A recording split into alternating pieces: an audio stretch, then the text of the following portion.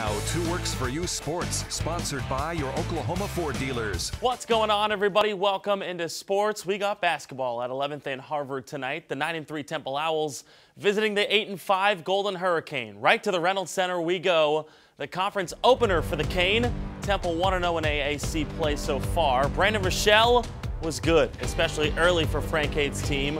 First half, he knocks down the three. Tulsa goes up 12 to 4. Shooting was on point tonight. How about Rachal sharing the ball, finding Jeriah Horne for the tray? Tulsa goes up by 11.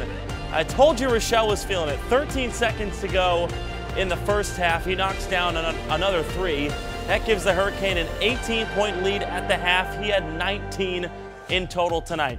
Second half, Horne doesn't just shoot threes, he can take it himself to the rack. He does just that for two here. Tulsa goes up by 19. He finished with a game high 23 points.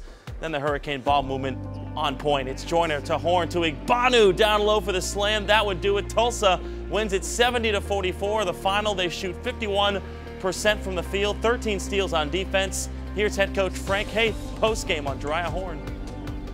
Well, he stretches the defense, and uh, he, he's been actually the last two or three weeks really coming of age in terms of what he's capable of doing.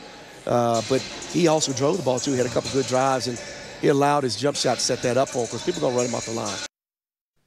All right, check this out. Former TU star Daquan Jeffries with the Stockton Kings of the NBA G League, putting that guy on a poster. He was in the college dunk contest last year, making Oklahoma proud. Nicely done, sir.